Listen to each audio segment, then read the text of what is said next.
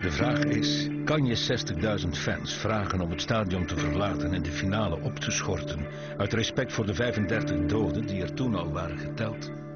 Politieofficier Ian McGregor dacht toen dat hij het antwoord kende. I was expecting within an hour that the stadium would be evacuated and that we'd have coachload after coachload of supporters brought to the station. I couldn't believe, with dead bodies lying around the pitch, that they could play this match. Rijkswachters te paard worden het veld opgestuurd. Een eerste maar futiele poging om orde op zaken te brengen. Intussen in de VIP-hal waar de burgemeester, organisatoren en ordediensten nog steeds bij elkaar waren, dreigde de vergadering uit de hand te lopen. Come spesso succede in queste cose, se- una discussione senza regole, senza, senza uno che presiede e così via, ciascuno tendeva a perdere tempo sul punto che lo riguardava e, e quindi naturalmente io tendevo a dire shut up. Et le bourgmestre de Bruxelles, qui ne savait pas qui était M. de Michelis, à un moment donné, dans la réunion, dit Tu te tais ou je te fais arrêter. Bron was een zeer intelligente man. Die in een bepaald ogenblik, ja, wegens politieke spel, burgemeester van eh, Brussel geworden is. Maar dat was een man, een levensgenieter. Hè? En natuurlijk, als hij dan een, een glasje gedronken had, dat is helemaal van de kaart. En pff, ik zei dat niet graag, maar was toen ook helemaal van de kaart. eh, in quella situazione sembravano quasi solo preoccupati di dire non è colpa nostra, non è responsabilità nostra. Iedereen was opgewonden, dat, moet, dat was zeker. Iedereen was zeer opgewonden, sprak luid. En een beetje door elkaar zo. En, en, dan tegen de een, dan weer tegen de andere. Terwijl binnen wordt gepalaverd, staan buiten op het veld supporters en rijkswacht oog in oog tegenover elkaar. Uit het zicht van de camera's zaten de spelers ondertussen in hun kleedkamer en wachten af. Liverpool-manager Joe Fagan in een trui met geluksnummer 13 had zijn spelers gezegd binnen te blijven. Hij ging echter zelf het veld op om met de fans te spreken en werd daarbij vergezeld door lijfwacht Tony Chin en de afgevaardigde van de Belgische voetbalbond Guido de Wind. He started crying, sobbing. He was saying, please, please, you know.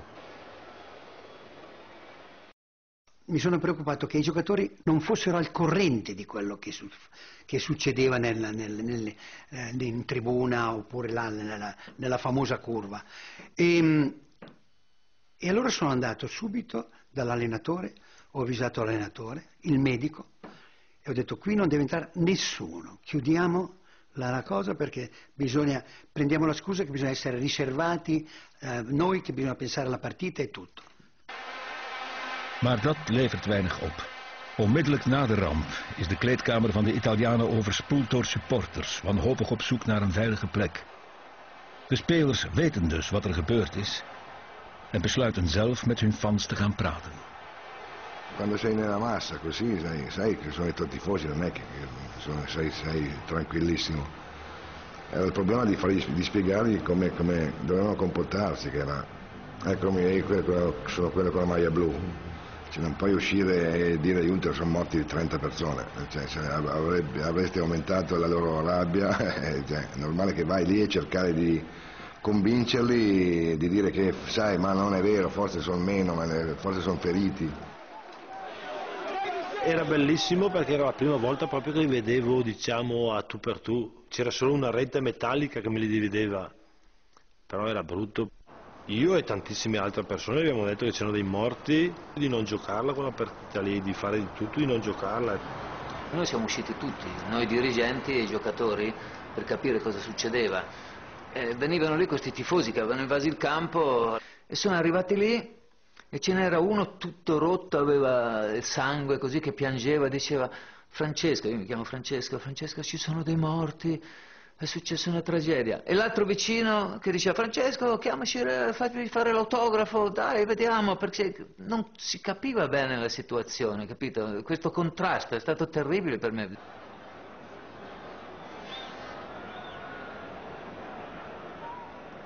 I giocatori quando sono entrati nello spogliatoio alcuni erano seduti con la, mani- con la testa tra le mani che piangevano, altri che vomitavano, altri già- avevano fatto già la doccia e pronti per andare a casa, cioè psicologicamente era una situazione per non poter giocare.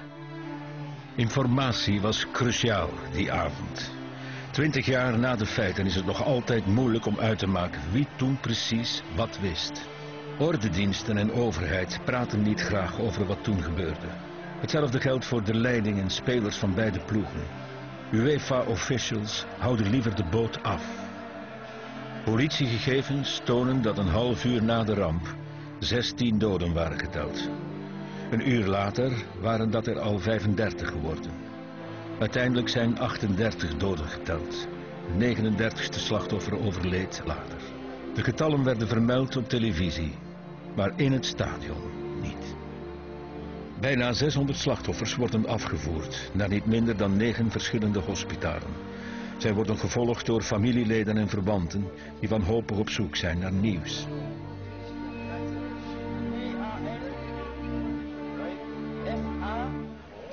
A me mi avevano fatto sedere da una parte e poi è venuto un dottore e mi ha visitato, perché come ti dicevo avevo le labbra e la lingua tutte nere e non parlavo, e mi disse eh, quello che le reali condizioni di mia moglie, quindi mia moglie era in coma, prima bisognava farla uscire dal coma, una volta uscita dal coma dovevano appurare quanto era stato il tempo della mancanza di ossigeno al cervello per vedere se c'erano dei problemi al cervello. Ero solo in un, in un porto, chiamavano così, di, di, di, di, gente che si disperava, di arrivi, di partenze, di feriti che arrivavano in continuazione, di gente che non sapeva cosa fare, di gente che riusciva a telefonare, di gente che non sapeva come stavano coloro che stavano male. Cioè, De ragazzi's zijn intussen op zoek naar hun neef Domenico, die in het tumult is verdwenen. Uiteindelijk vinden ze zijn lichaam in een tent, die het Rode Kruis naast het stadion heeft opgetrokken. L'ho visto delle scarpe, dopo ho spostato uno o due che erano sopra di lui e era lui. Siamo abbracciati e piangevamo tutti.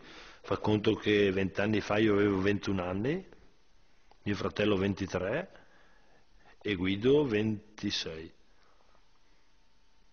Cioè eravamo giovani. A mille chilometri da casa Ecco, a me tutti si gela il sangue.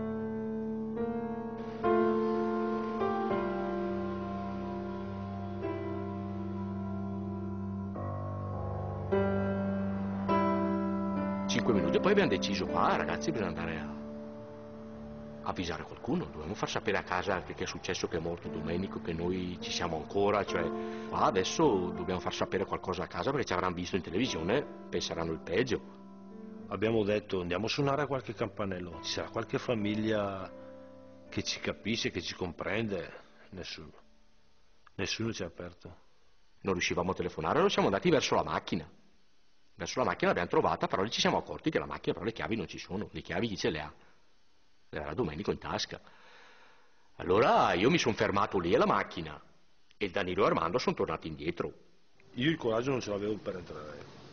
Entra mio fratello, me lo fermano, lo fermano i gendarmi, dicono cioè nella loro lingua che non può entrare, insomma, gli fanno capire. Allora lui, mio fratello, eh, inizia a spiegarci chiavi, chiavi in macchina. Mio fratello va dentro, prende le chiavi, non so se gli dà un bacio, quello non me lo ricordo, e esce con le chiavi. En de ragazzi's vertrekken, terug naar Italië. Ver van het Heizelstadion, waar nog altijd geen beslissing is genomen en iedere logica lijkt te verdwijnen.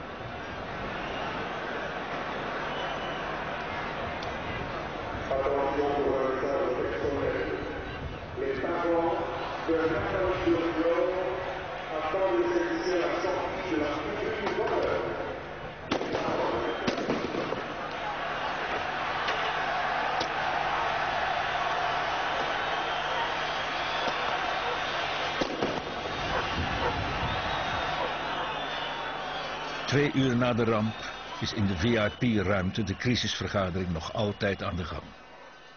En plots zegt die Italiaanse minister heel luid... Maar qui est qui est maintenant le patron ici? Qui est qui responsable? Uh, algemene stilte, de burgemeester stond naast mij en draait zich om. Ah, de generaal, zegt hij, de generaal. Dus onmiddellijk zeg ik ja, ja, ja, die, die, die wedstrijd moet doorgaan. Maar uh, dan zag ik ook, zeg, ja, ik moet tijd hebben om aanvullende rijkswachters hier naartoe, om meer reserves te krijgen. En dan hebben ze gezegd, ja, het is goed. En dan is het doorgegaan. Men oordeelde dat het beter was te spelen dan de wedstrijd af te gelasten. Eindelijk een beslissing. Maar dat is gerekend buiten de Juventus-delegatie. De spelers zitten al meer dan anderhalf uur in hun kleedkamer en sturen manager Morini om uit te vissen wat er aan de hand is in de vergadering van de VIP's. Io sono arrivato lì, ho sentito che Boniperti ha preso la parola e ha detto Signori, noi della Juventus, data la situazione, ci sono stati dei morti, noi non giochiamo, noi non possiamo giocare in questa situazione. Perciò io ritiro la squadra e ce ne torniamo a casa. Ma in una situazione del genere l'istinto viene a dire ma non giochiamo, rimandiamo, vediamo, perché poi sai, sono tutte cose difficili da prendere la, la decisione, no? E Boniperti, presidente, ha detto va bene, se voi volete così noi giochiamo. Ha detto ma la partita è valida, il punteggio insomma è valido tutto.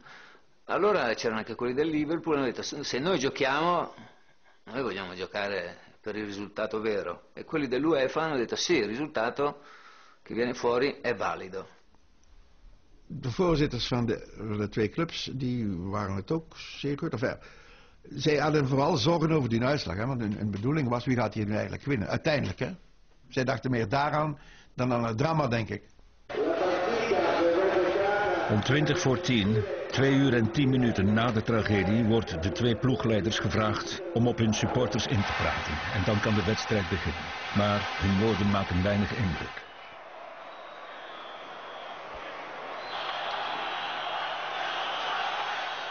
Men hoopte dat het bekijken van de wedstrijd de overtollige energie van de fans zou kanaliseren. Vooral dan die van de Italiaanse ultras die nog steeds buiten zinnen waren.